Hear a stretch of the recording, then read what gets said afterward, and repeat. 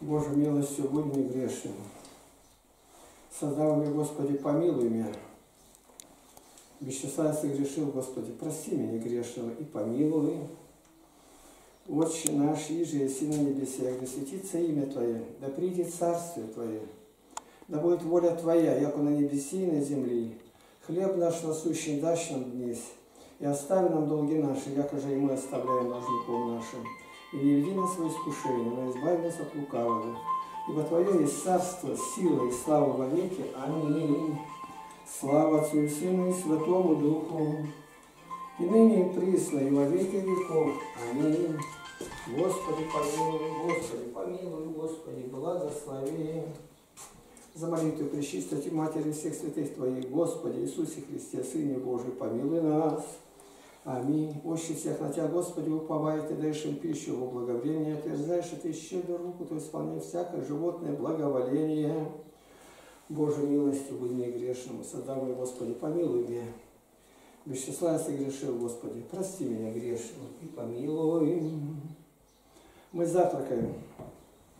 Первый день сегодня я приехал вчера. Ну и за стол уже не садиться, если ничего не делал. Вот эта труба лежит, что она означает? Это тубус.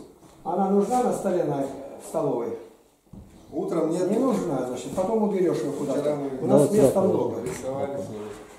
Так, я напоминаю, как было в лагере, так будет здесь. Порядок один. Приезжают люди отовсюду. За завтрак вот помолились мы. Что я сказал, молитву в разном порядке, мы тут на это не смотрим. Молитва перед Богом. Это нам порядок нужен, чтобы как-то централизовать мысли к Богу. Дальше. Кто чем занимается? Я чем занимался в прошлом году, занимаюсь и этим. Первым делом Встаю в 4.40. Это никуда, ни шагу. Я в этом состоянии прожил фактически 58 лет. И скажу, что в этой цифре что-то есть, а что я не знаю. Потом я нахожу в матери Терезы тысячи поклонников, тысячи помощников, тысячи во всем мире. 4.40. Ни 5, ни 4. Опять нахожу 4.40. И, а я ниоткуда это не считал раньше, просто 4.40 мысль пришла. Не знаю теперь, как на молитве или при чтении Слова Божия. 4.40. Ровно в 5 начинаем молиться. Никаких там лежать человек, быстро вставать. Ты там отвечаешь за них, старший, кто бы не приехал. Значит, следить за этим. Вот какой работал верхний у тебя роба, брюки не меняются, а это снимать. Вот это, чтобы грязно не было. Постирать сегодня же, выстирать, за стол садимся везде. Верхняя одежда должна быть чистой и залатанной. Дырок никаких нету. Иголки есть, мы, тряпочки нужны, прямо, ну, дом моды, там работали, новые. У меня все, заплата на заплате. Если нужны бурики такие, я выдам, китель дам, все это. И вот чем, чем заниматься? Ну, научиться надо быстро отвечать. Я сегодня подробно скажу. Я сказал, моя задача это выгулить собаку, две, я говорю шарика, с ним тоже ухожу и ураган. Я знаю, как с ними обращаться, он его не трогает, не дерутся. И что я делаю? Иду гулять, дохожу до половины почти отпускаю, утром я обувши, жарко, я босиком, вечером, когда иду. Иду туда, где пруд, поворачиваю на лагерь, обошел лагерь сегодня я вокруг, где там пали жертвы, поднял, где надо привязал, я работаю. И прошел, там телятники есть. Что я растет? Кто-то наш столб, обрубок такой, далеко туда вниз, а там его не было. Кто у него, зачем, не знаю. Ну, не знаю, лежал здесь и туда унести. Нужно приготовить 5 минимум столбов, футбольное поле оверничать. Я не знаю точно ширину, надо посмотреть, какое расстояние, где было, на тех же местах поставить. И волейбол. Осмолить, Володя это все знает, только показать надо где. Дальше. Обходим мы с этой стороны лагеря, отовсюду, где какие повреждения, чтобы скотина туда не зашла, внутрь не заходили. К шалашу, проверили ямы, нигде ли, значит, там упадет она ограждение, недавно было сделано. Это то, что мы сделали. И дальше идем обратно. Это с собаками. Вернулись, сразу я наверх. Я не один день здесь и гляжу, вчера голубей не кормили. Полностью Все чисто, нигде нету, нигде нету, ни на полу, ни в тазике, и даже которые мелкие, они не едят, и то съеденные, то есть голодные. А корм есть.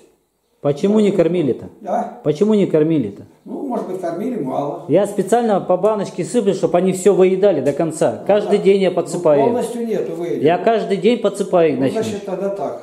Чего вы, Хорошо. чего вы говорите, Сами что голодные? Может маленько оставаться. Я просыпал, сколько у меня получилось, баночка полная, которая маленькая была. Тазик, одну на два этих корыта и третье три этих. Дальше будет видно. Затруднение. Игорь хороший комбайн техника, и теперь отходов меньше. Ну, там будет видно.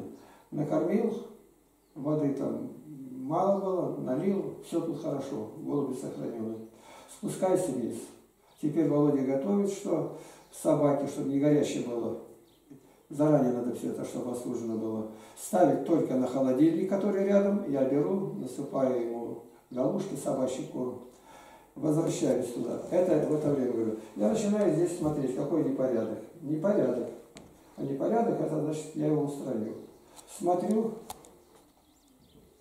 ложка моя потерялась вчера еще. Книги стоят как попало. Вот я и как выстроил. На главном месте Библии. Вот они где. Вот Новый Завет. Дальше наши книги.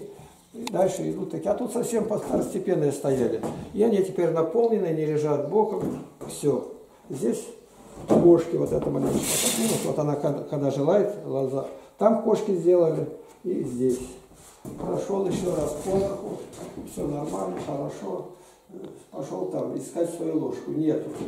Яблоки. Яблоки, вот сейчас три яблока. Вот я их разрезаю, вот эти все вырезаю, вот в таком виде подавать детям. Они наполовину ее тут, ну, не может ребенок так чисто делать, как я делаю ножом. Себе я буду даже тереть. Теперь эти возьмете, две это одно яблоко. Заранее подготовить, и что из них там теперь ушло. Теперь утром я иду, рву сразу же, сегодня это сделал. Крапива гудумная, она очень витаминная. Лопух, вот этот. Что здесь есть еще? Растет там чеснок, лук, одуванчик. Это все вместе я под, на ваших глазах резал. И лук. Вот сколько вам надо? Вот это мне на один раз. Но там я обычно раза в два больше. Прикус я могу подносить себе обратно вот так, чтобы не упало. И придется чашечки лишний раз там можно мыть, не мыть. Вот примерно уже, вот что я сказал один раз, за стол, это у нас звоночек есть. Если люди на улице, там я покажу как. Не так, что стучать. Вот этот. Бежать только бегом. Если нет, значит, шагом шел. Вернуться на то место бегом, где ты был до этого. И опять туда бегом, прибежать. Хорошо понял? Ноги вместе держать. Ты не на палубе корабля. Это морские пехотинцы так стоят, качают, потому что здесь. Вот теперь смотри, какие изменения. Есть, да, изменения? Изменения. Я посмотрел там у голубей, кое-что убрал, но это счастное такое уже. Посмотрел, где ходы и крысы, и откуда выход, как перекрыть это все. Это понятно до сих пор? Там стучит, я покажу, как он из елки такой висит, э, какой-то такой промышленный, там, когда звонят вот так вот. И каждый будет отвечать коротко. Делал то-то. Я подробно отвечаю, чтобы знали здесь как. Березовка. Березовкой мне надо показать, сколько гостям. Не просто так каждый день пей, сколько хочешь. Я спросил, морковки нет. Я поеду сейчас пообедаем, проеду в деревню, выпрошу где-то и куплю. Я много времени провожу за компьютером. Ну, только за 9 лет, когда писал книги, больше 30 тысяч часов провел. Как показали, это почти два раза больше книг у Гиннеса. 14-16 часов. Когда писал книги, за 9 лет почти, я, может быть, раз только искупался. Некогда. Костер без меня. У меня не было времени. 38 томов. Еще 7. Это в бумажном варианте, который так. Следует потрудиться. Да. По тем деньгам, когда мы издавали, в общем сумме мне обошлось это 55 миллионов.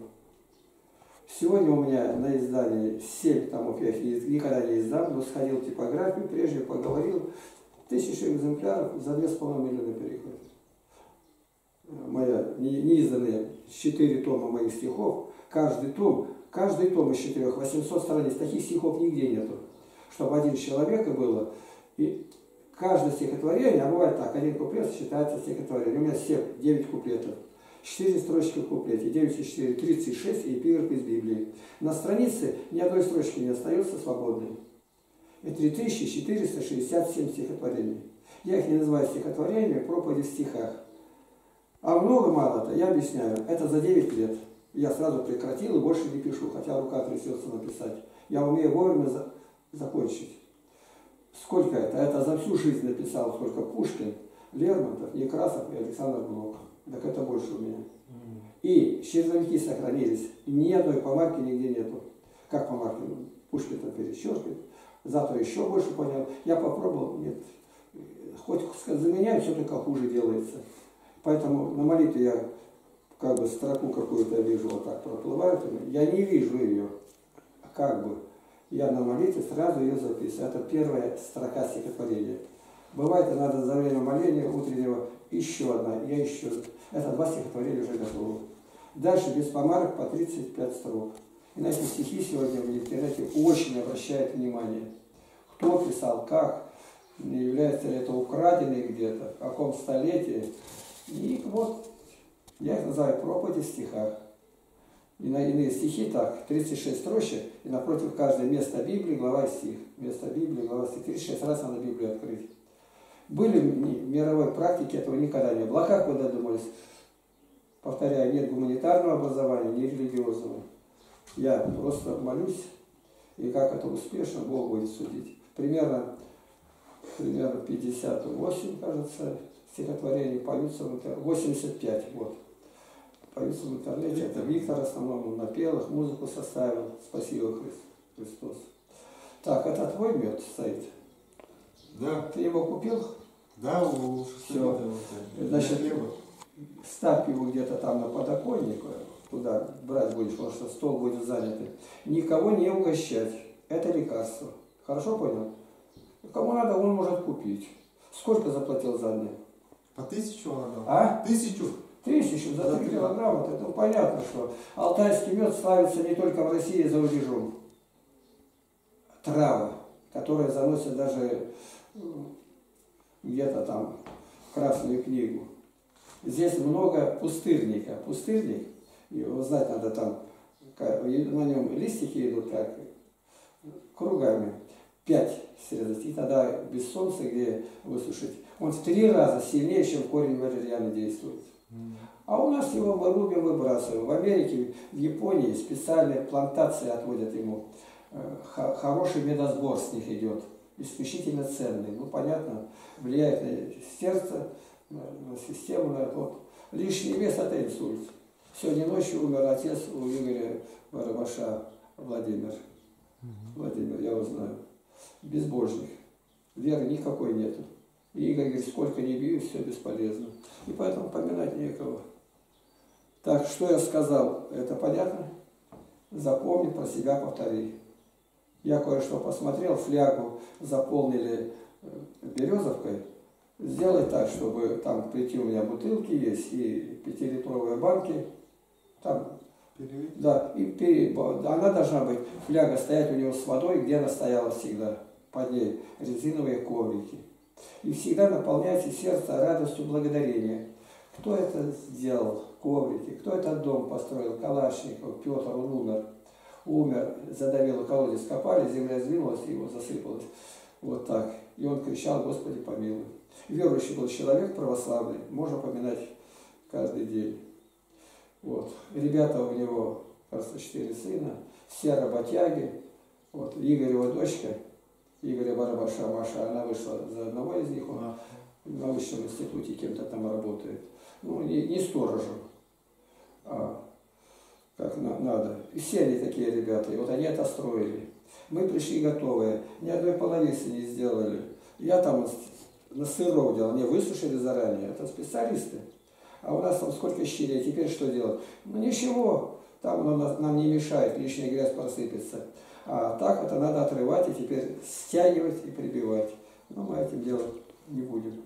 И вот куда ты не пойдешь, идешь, кто-то делал, городил, кто-то посадил, посмотри, тут липа, э, ну, там, боярышник, тут черная, как называют ее, это, черноплодка, рябина, малина, яблони тут посаженные. Да потому счастье. У них, видишь, как были батареи для деревни, это, это бани.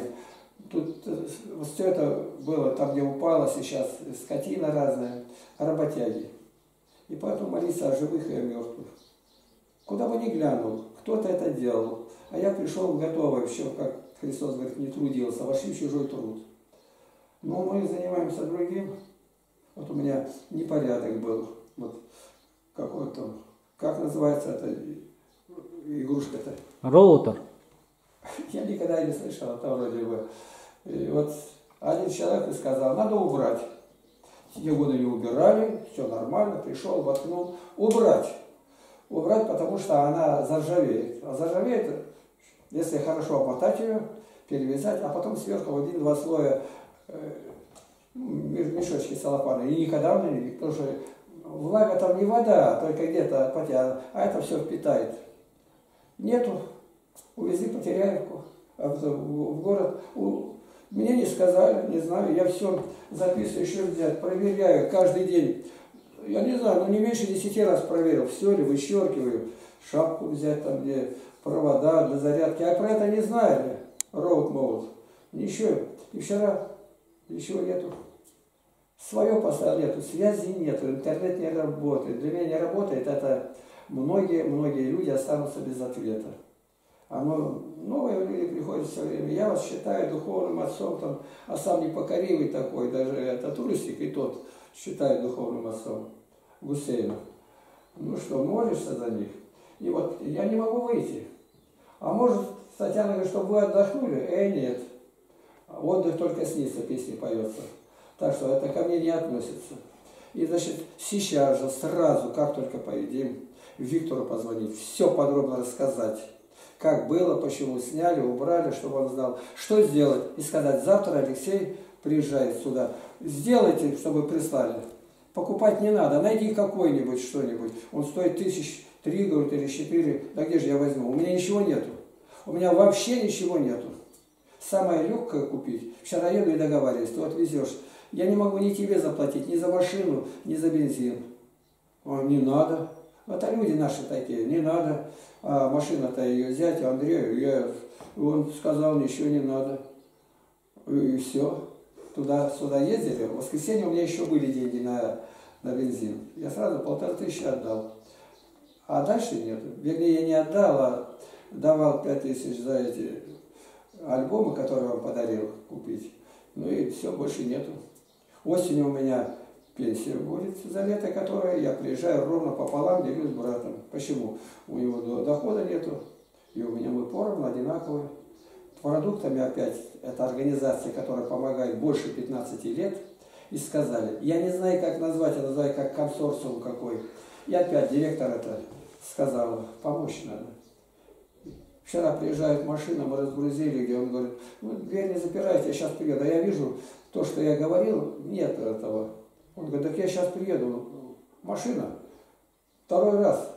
И я когда начал разгружать, я опять подхожу. А он каждый год к нам привозит, шофер. Я говорю, документы, я расписался, сколько, чего, где. Я говорю, а мне документ какой есть? А зачем? Не надо. Я говорю, вот вы сейчас разгружаете, вы не ошиблись, может это к другому кому-то? Нет. Да я вроде не столько просил, то вижу раза полтора больше. Это вообще нельзя объяснить. Вот я решил купить тогда 7, сказал, спросил тут, 7 метров, вот такие рулоны высоты, этот, ну, он вдвое сложенный, целлофан для накрытия где-то. Ну, я пришел и показал, сколько написал и дал. Приехали, когда брать, они выносят рулон. А рулон это он тяжелый такой прямо. Второй, третий, четвертый, пятый. Я говорю, вы куда? Нет, вам. Да, даже нет, нет, нет, это не мне. Нет, нет, директор сказал, это вам. Первый раз вижу, первый раз приехал. Вот у них что-то такое делает им Господь. Он не знает, что делает. А пришло время ему показать, что он добрый человек. Ну и погрузили, Николай Пальгуев возил меня. Я такого, дескать, и не видал. Ну, а там каждый, ну тут как попало. Распускали, там палатки на лето бросить не увидят, и поэтому пропало все. Ну, все-таки послужили они. Проходит сколько-то времени, Звонит один. Это вы у нас получали? Я говорю, да. Так вот директор сейчас и говорит, тут ошибка произошла, там метров надо было, а мы рулонами. Я говорю, так еще не увезли. А да, да нет, сказал, не надо, пускай так. Ну интересно. А почему так Господь делает? Человек даже в забвении может сделать и злое, и доброе.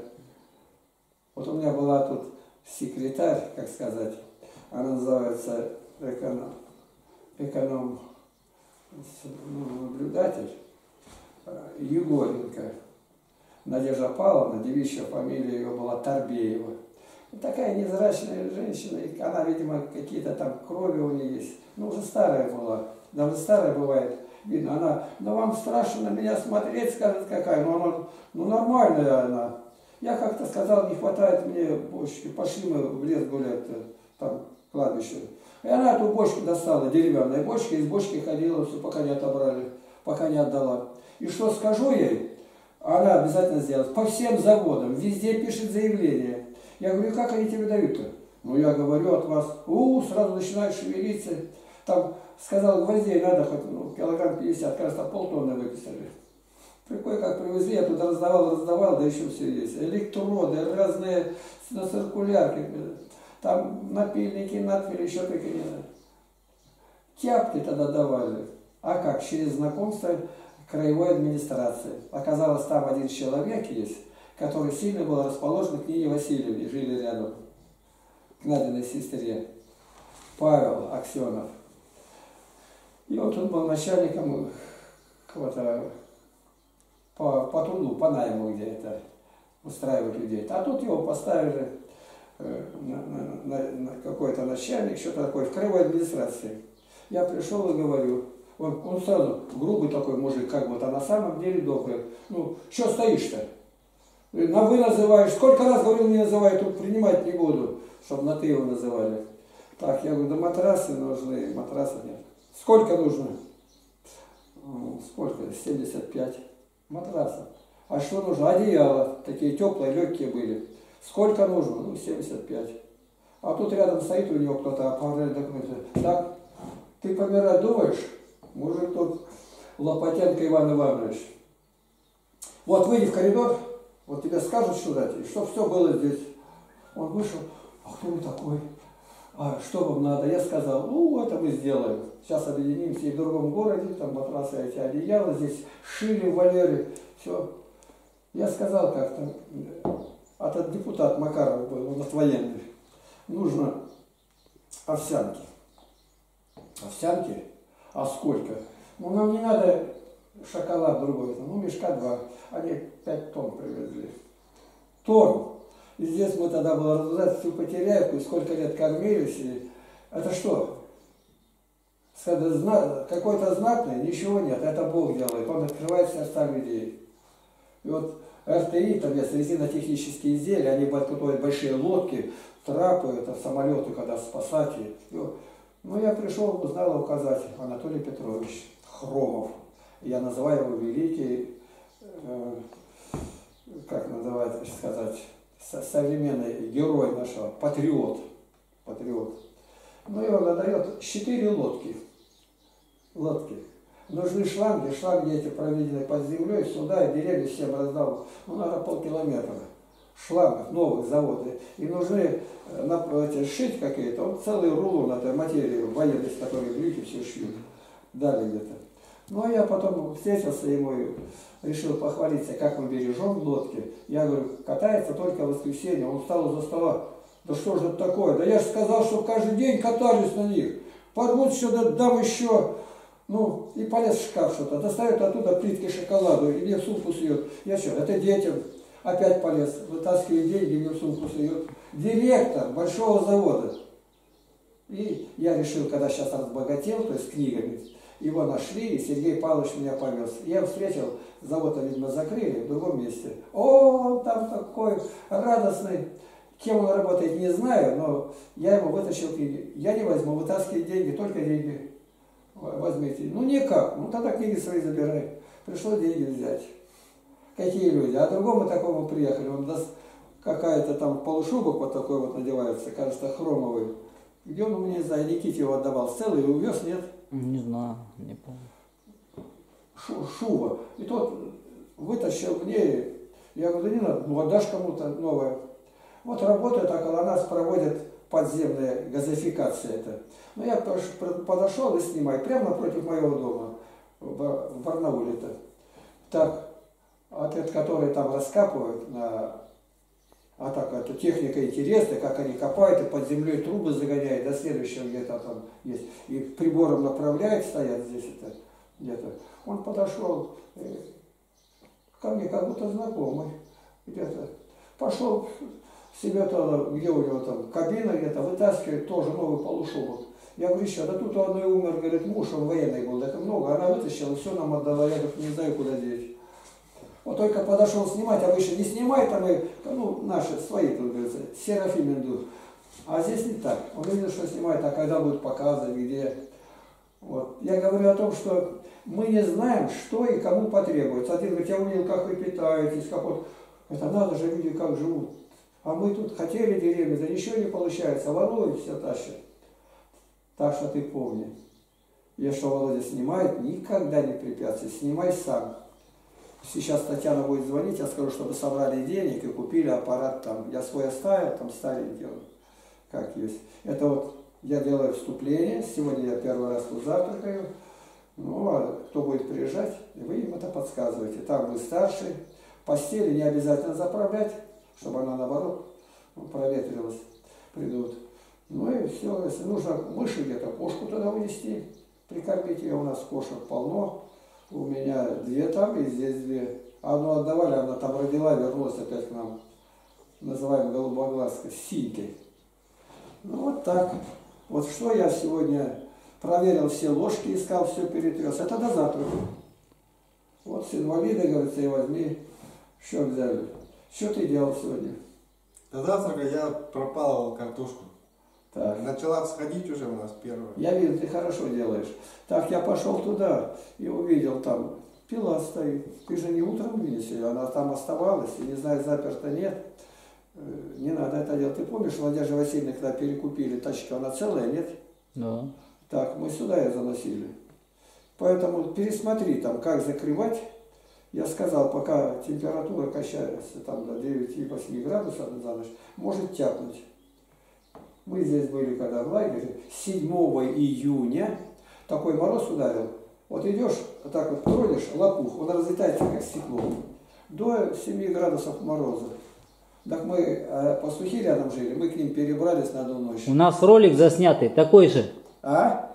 Точно так же ролик засняли, мороз ударил, он подходит, крапива как стекло Да, да, разлетается. да, да, да, да. Но это в июне, в июне седьмого. Так что за этим надо смотреть. Было уже, не закрыли, замерзло. Каждый будет коротко отвечать, куда поставили. Без дела, чтобы никого не было.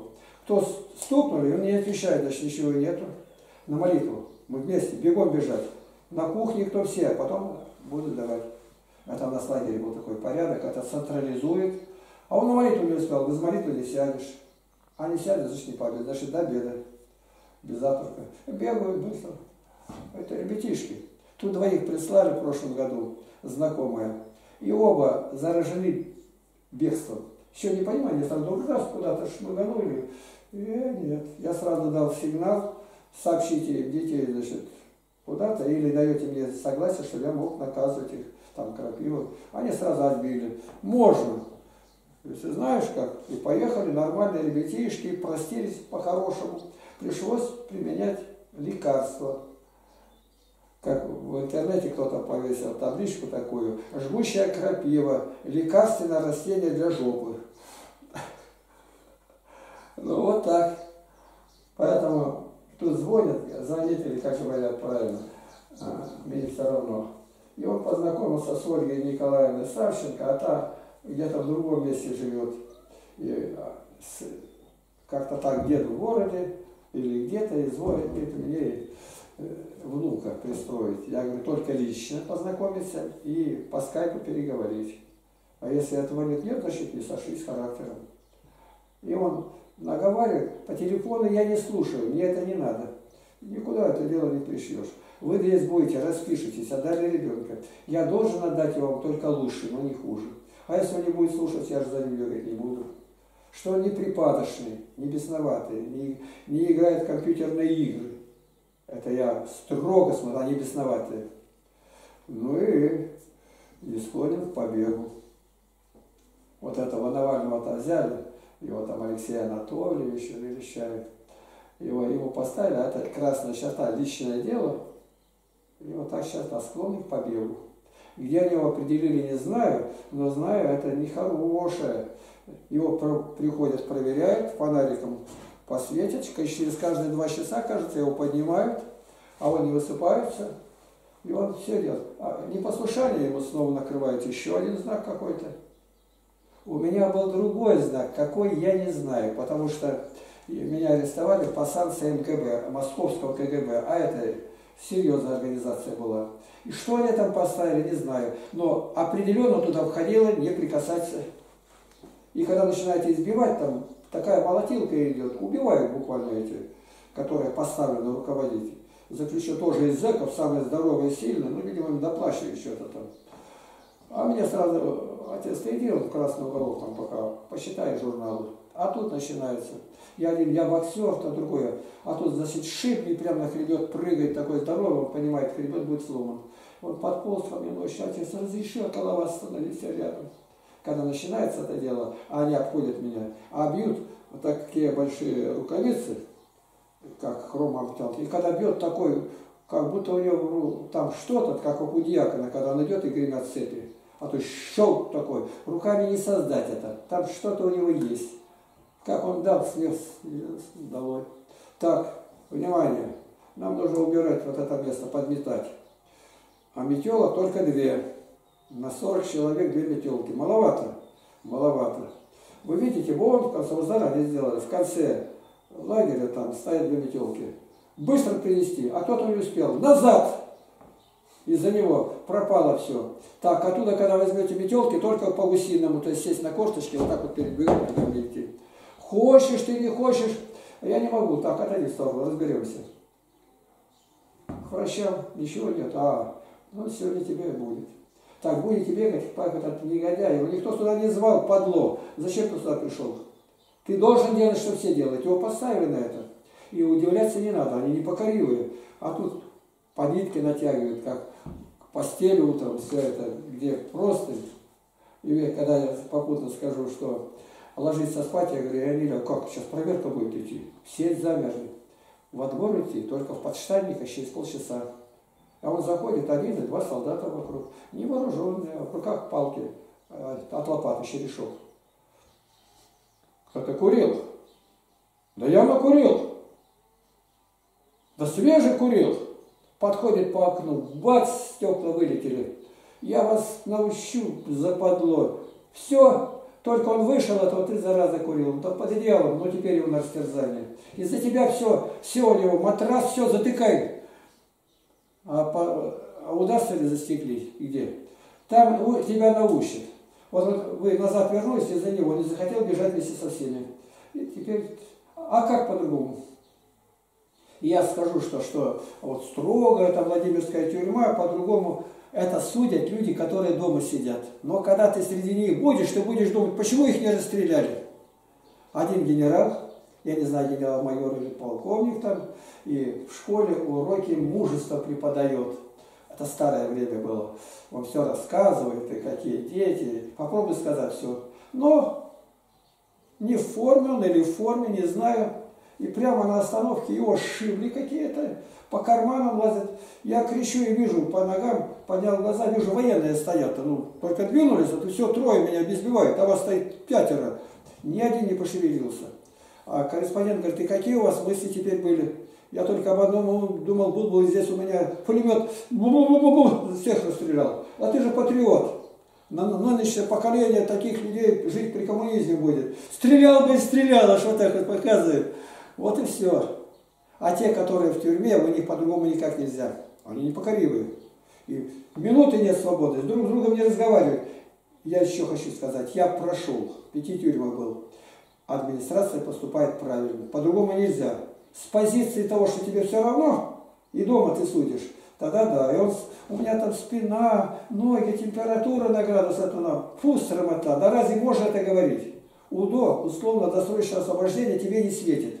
Там набирать, когда будут, приходят предприятия какие, ну, это, кому он нужен, хиляк такой. Тебе не выйти никогда, поэтому, если ты виновен, к начальнику отряда, кто есть, там офицер, к нему, ну, пожалуйста, там, гражданин начальник, вычеркните это, ну, накажите меня как-нибудь, чтобы нигде в записях не было. Понял? Надо жить открытым оком, смотреть во свете Библии. Богу слава. Садимся за стол.